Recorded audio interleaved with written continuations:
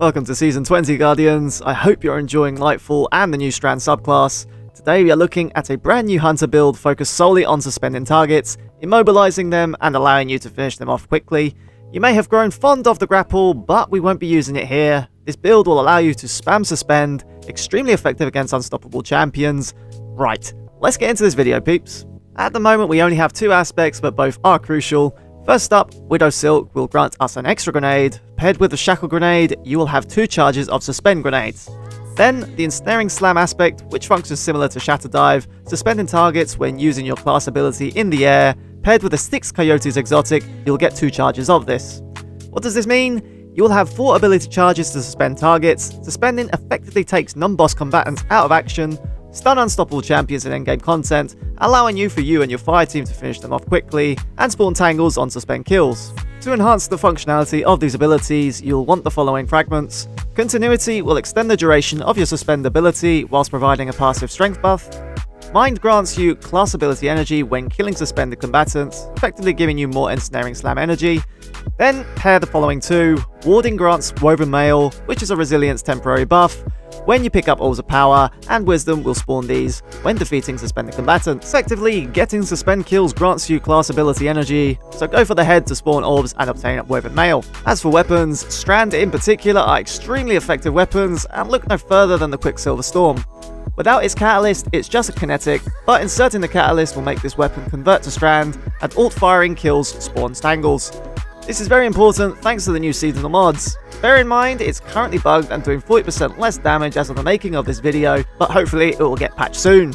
Before we get into the mods, we are on the warpath to 1000 subscribers. Consider dropping a like if you're finding inspiration from this vid and for that sexy YouTube algorithm, and subscribe. Let's get on with it.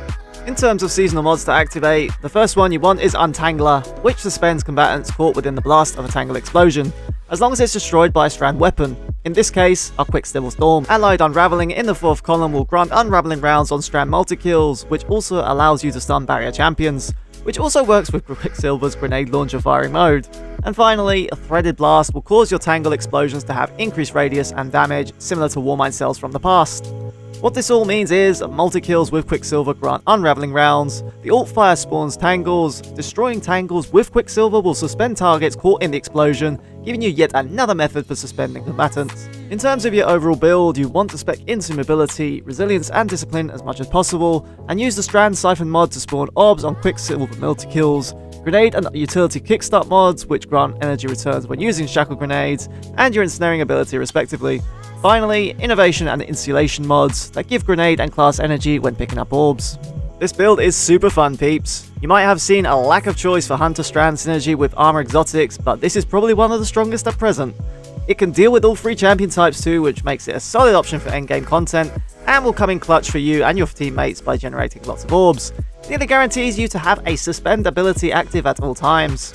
That's it folks, the first Strand video is out. I have yet to play on Titan and Warlock, so expect videos soon.